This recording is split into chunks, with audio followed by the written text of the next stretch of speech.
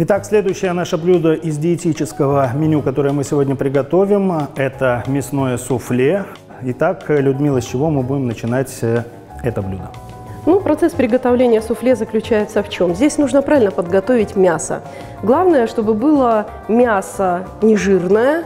Воду мы слегка подсолим. Здесь мы будем варить целым куском. Мы приготовим подпеченные овощи. Поможете угу. нарезать? Да, с удовольствием.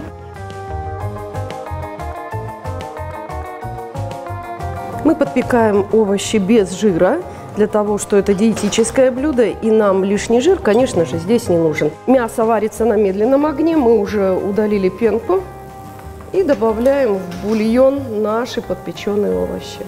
Овощи добавили, и теперь мясо варим до готовности. И теперь мясо варим до готовности, это будет полтора-два часа на медленном огне.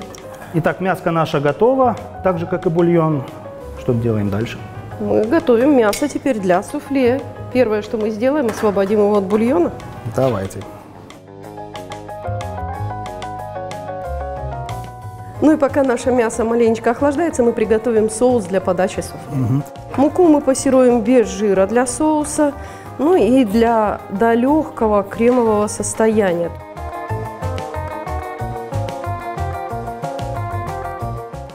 Теперь мы муку перекладываем в емкость, чтобы она слегка охладилась. И будем разводить охлажденным холодным молоком. Ну а я тогда пока займусь перекруткой мяса.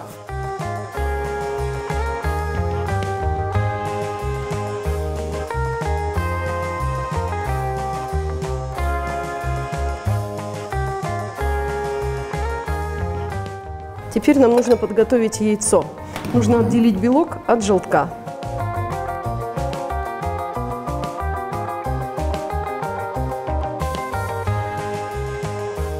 Желток мы добавим сразу, а угу. белок мы будем использовать чуть позже. Белок взбиваем, угу, давайте пожалуйста, взбьем. до пышной массы, а я буду соединять сюда компонент. Мясную запеканку или мясное суфле мы, кстати, сегодня тоже будем готовить двумя способами. Первый вариант это опять-таки на водяной бане или на пару, а второй в духовом шкафу. Чтобы масса у нас не рассыпалась, мы добавим бульона, в котором и варилось наше мясо.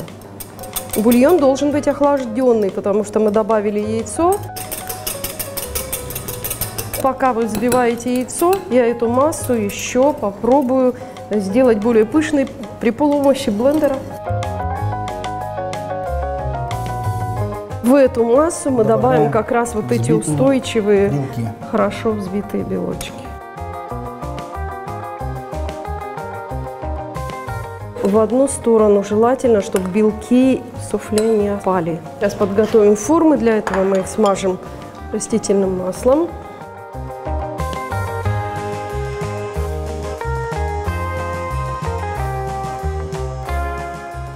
То, которое мы будем запекать, можно сверху смазать растопленным сливочным угу. маслом. Я сделаю акцент для наших телезрителей. Когда мы говорим о диетическом столе, мы не имеем в виду подсчет калорий, мы имеем в виду способ приготовления блюда. Правильно, Людмила? Конечно. Запекать при температуре 220 мы будем.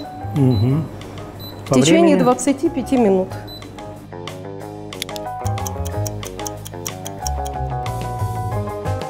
Второй мы будем готовить угу, да. на пару.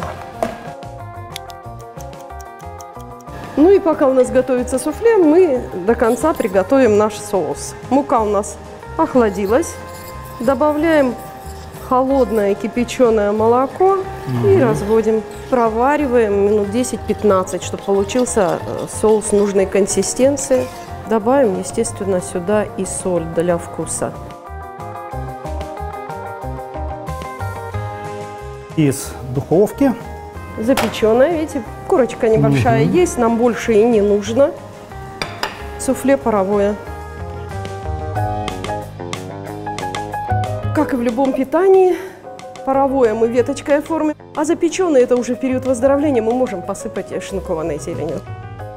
Еще немного есть масла, мы можем полить вот буквально слегка-слегка Мягче оно становится. наверняка. мягче и сбалансированность, опять же, питания. Это важный фактор. Итак, дорогие друзья, мясное суфле, которое мы сегодня будем считать основным блюдом нашего диетического стола, готово.